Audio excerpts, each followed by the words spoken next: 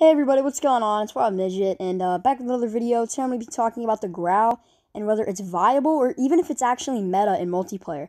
Everyone knows the Grau was an absolute monster in Warzone with its absolutely incredible damage range, low recoil, and good enough damage profile to be competitive. It is an absolute monster in Warzone, but just how good is it in multiplayer? The Grau has always kind of been a question mark in multiplayer because a lot of people like to, you know, go with the M4 or a couple of the other ARs like Kilo. The M4 and the Kilo are not only dominant in multiplayer, they're also dominant in Warzone. But like I said earlier with the Grau, it's mostly known for its damage range and recoil control, which is something you don't really need that much of in multiplayer. And that raises the question to a lot of people whether it's actually worth using in a mode like Search and Destroy or just have fun with. As you can tell, the Grau is one of my favorite weapons in the game as I have an Obsidian. I use it all the time. It's one of my favorite weapons to use in multiplayer and Warzone. But, is it really that good, and is it competitive? In my opinion, I believe yes. Yes, it is very competitive. Especially if you were getting into a medium to long range fight, which sure aren't, you know, the most common things in multiplayer, you're going to win 9 times out of 10 if you hit your shots. The Grau has super clean iron sight with the Archangel barrel on it and it has absolutely incredible damage range and a great recoil control. And it is so nice and easy to use, and I really, really love it. Another question that a lot of people have about the Grau is everyone knows that its damage range and recoil control are out of this world incredible. But just how fast is the time to kill and is it competitive enough to match up with other ARs like the M4 the Kilo or any of the SMGs up close? The answer is sort of. Its time to kill is on the lower end for ARs, and it doesn't even get close to matching any of the SMG's time to kill up close. But if you're hitting your shots, especially if you're hitting your headshots, it is more than usable. If you want an actual statistical time to kill and how fast it is, I'm going to be putting up a couple clips from the Xclusive Ace video that he made about the Grau, which he calls it his gun guide series, which is a series about going into more detail about the guns. I will link the descriptions. I will link his channel in the description, as well as a link to the gun guide video about the Grau if you want to learn more about it, other than my just kind of touching the surface video.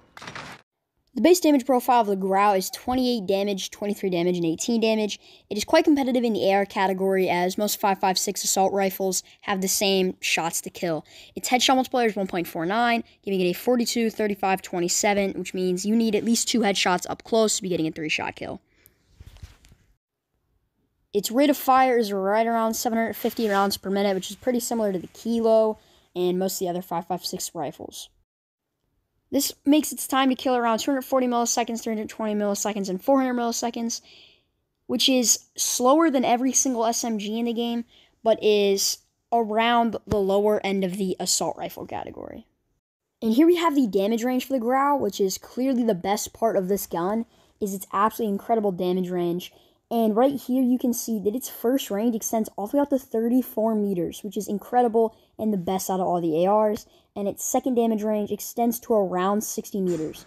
That is absolutely incredible for any AR. Just in case you don't want to believe me, here's the no attachments on it recoil pattern.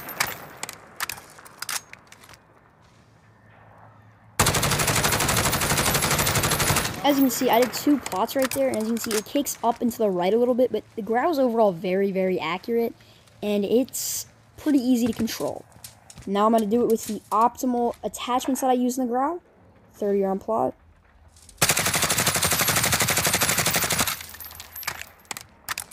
As you can tell, I do help out a lot with the couple attachments that I use for damage range on here, but I don't use too many because it's already very, very good.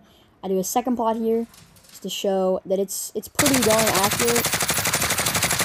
And then right after doing the second plot, I do a controlled recoil to show how easy I can keep it in one spot.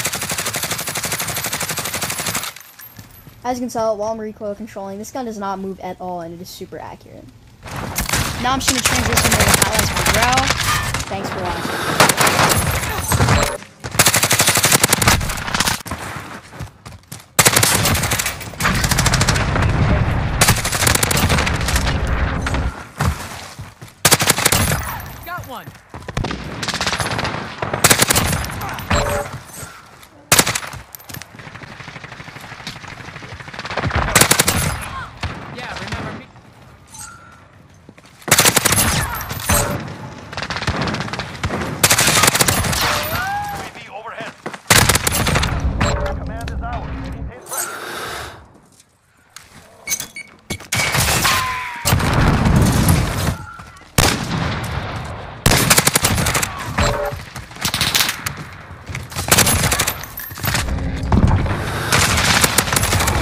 Getting into the optimal class setup that I run, I run the Monolithic Suppressor, 26.4 Archangel Barrel for that better iron sight, Tac Laser, 60 round mags in the XRK Void 2 grip.